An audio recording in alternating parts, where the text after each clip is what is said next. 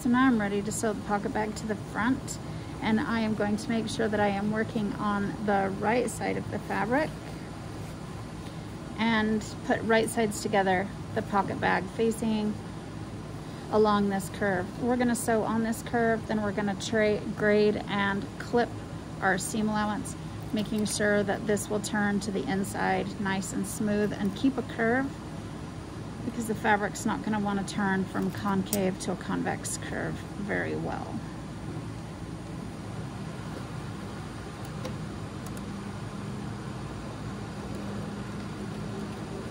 Once again, make sure I don't sew over my pins.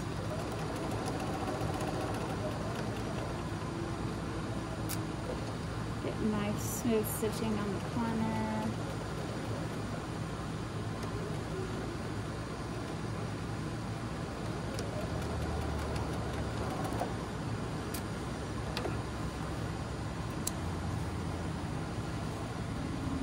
Clip off your threads.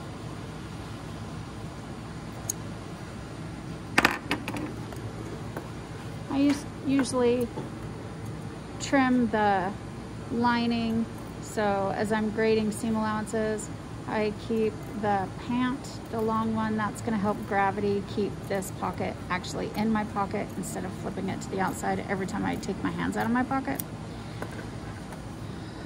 So I'm gonna grade that. Now I'm gonna clip my curves. I'm gonna clip two, but not through my seam allowance. I'm gonna clip my curves pretty, make my clips pretty close together because it's a pretty tight curve and I want it to lay pretty smooth.